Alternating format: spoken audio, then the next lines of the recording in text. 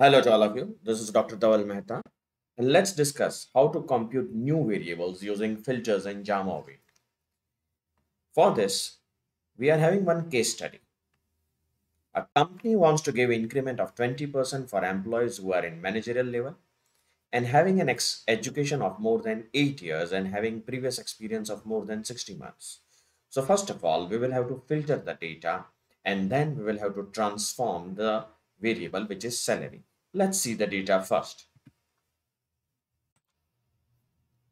I'll request all my viewers to kindly refer my previous videos to understand the flow of this lecture series. These datasets contain ID, gender of an employee, the birth date, education. Education is captured in such a way that if any employee has completed the education till 12th standard, it will be indicated as 12. First year of the college, 13. Second year of the college, 14. Three job categories are there, clerical, custodial, and managerial. This is the current salary, job time, from how many months an employee is with our company, the previous experience of an employee, and an employee is present in minority or not. Now, let us see the case study again. How many variables are involved in this? A company wants to give increment of 20%. This is this means uh, here current salary will be converted who are in managerial level, only in managerial level, having an, an, education of more than 8 years and having previous experience of more than 60 months. Now, how we can do this? So, first of all, we will have to activate the filters. So, you can press here on filters. Now, I'll specify here. The first condition is employees only in managerial cadre. So make sure that the name of the variable which you write here matches with the column name which you have given. So this is job cat. So job cat equal to equal to 2 times equal to means we are trying to slice the data. Now the coding which has been done in this data set. One is clerical, two is custodial, three is managerial. Either you can specify the code that is third category managerial. Either you can use a number or if you want to use the name make it sure it is in single inverted commas. So i'll say managerial. Single inverted commas enter. So the first filter is activated.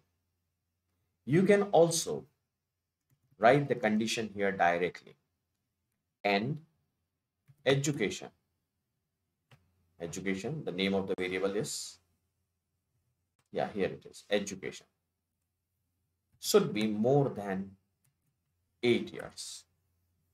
I can give multiple conditions here also. But my request is that don't do this way. Include the another filter. Press plus sign now activate the education greater than 8 Again, press the plus sign. Previous experience. So, previous experience. Let us see. Is it correct? Yeah, it is previous experience has been written in this format only. Should be more than 60 months. Enter. You can see three filters are activated. The first filter is for managerial, second filter is for education, third filter is for previous experience. Press the up arrow. Now, all the rows which are highlighted, they satisfy all the three conditions. Now what we want to do? We want to give the increment to this selected employees. How can I do it? Select the salary and press compute. Now, write down here increment. Here, I'll be using salary 20% increment is to be given. So into 1.2, enter. You can see here all those employees which satisfy the, all these three conditions given the increment of 20%. Now, if you want to withdraw any one filter, it is quite easily possible. What you can do, select this, delete the filter, and you will get a different result. You can see here. So by removing the filter, you will get a different result.